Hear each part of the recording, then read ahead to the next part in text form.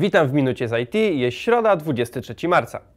Telewizja Polska oficjalnie potwierdziła, że od dnia 1 czerwca dwa główne kanały, czyli jedynka i dwójka, będą dostępne w jakości HD całkowicie za darmo i to przez naziemną telewizję cyfrową.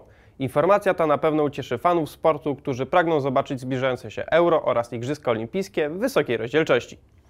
Okazuje się, że system płatności Sofor, z którego korzysta sklep internetowy Deichmann, ma dość spore luki. Pozwalają one na zakup produktów, ale jednocześnie na niepłacenie za nie. Wiąże się to z możliwością wycofania przelewu po uprzednim jego zleceniu.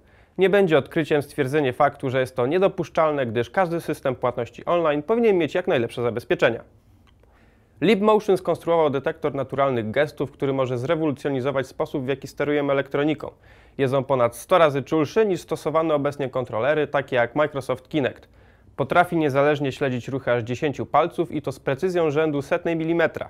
Platforma zgodna jest z systemami Windows 7 i 8 oraz Mac OS 10. Koszt to 70 dolarów, a konsumenci pierwsze zamówione egzemplarze powinni otrzymać na przełomie 2012 i 2013 roku. Dzięki za uwagę i do zobaczenia jutro.